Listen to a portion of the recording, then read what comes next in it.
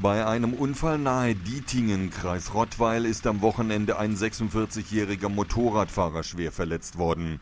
Ein 20-jähriger Autofahrer hatte ihn an einer Kreuzung übersehen und war in den Biker reingefahren. Verletzt wurde auch der Autofahrer und zwei weitere Insassen des Autos. Der schwer verletzte Motorradfahrer musste mit einem Rettungshubschrauber in ein Krankenhaus gebracht werden. Nach bisherigen Erkenntnissen der Polizei befuhr kurz vor 15 Uhr ein mit fünf Personen besetzter VW Golf die Kreisstraße von Dietingen in Richtung Böhringen. Der 20-jährige Fahrer beabsichtigte am Urslinger Kreuz nach links in Richtung Urslingen abzubiegen. Hierbei übersah er einen entgegenkommenden aus Richtung Böhringen äh, fahrenden 46-jährigen Motorradfahrer. Der Motorradfahrer wurde vom Pkw erfasst und kam 30 Meter nach der Unfallstelle schwer verletzt auf der Fahrbahn zum Liegen.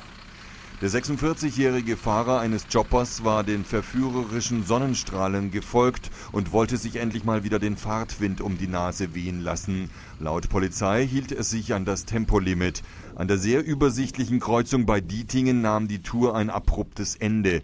Damit ist die Motorradsaison im Kreis Rottweil in diesem Jahr sehr früh mit einem schweren Unfall gestartet. So wie der 46-Jährige haben zahlreiche Motorradfahrer im Schwarzwald und auf der Alp das frühlingshafte Wetter genutzt, um in die neue Saison durchzustarten. Doch das schöne Wetter ist trügerisch und birgt eine Gefahr. Und vor allem jetzt wieder äh, muss man damit rechnen, äh, dass die Autofahrer noch nicht so auf Motorradfahrer eingestellt sind. Deswegen ist besondere Vorsicht geboten. Nach Polizeiangaben erlitt der 46-jährige Motorradfahrer Brüche an Armen und Beinen. Er musste mehrere Stunden lang operiert werden, ist aber nicht in Lebensgefahr. Für die Unfallaufnahme wurde die Kreisstraße bei Dietingen voll gesperrt.